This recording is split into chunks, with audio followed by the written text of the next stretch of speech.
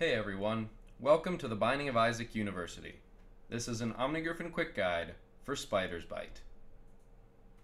Spider's Bite is a passive item which will cause Isaac's shots to have a chance to slow enemies for two and a half seconds.